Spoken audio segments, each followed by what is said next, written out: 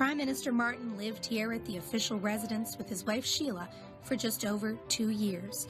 Their three grown sons had already left home, and like many residents before them, the household staff became like family.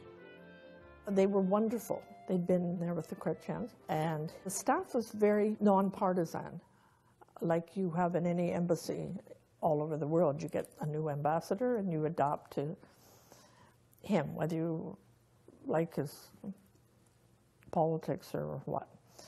Um, honestly, I could not have done without the, the, the fun of the staff.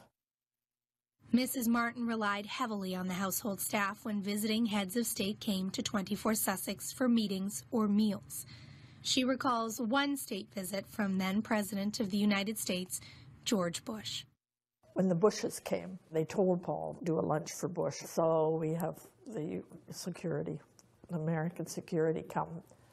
Paul said, well, we'll just do it here at the house. So the Secret Service come, prowl around, and they say, no, it's too dangerous because of the windows at the dining room looking out. So I said, okay, but can I use it for Mrs. Bush? And they said, oh, sure. At times, like all of its former occupants, Mrs. Martin found living at 24 challenging.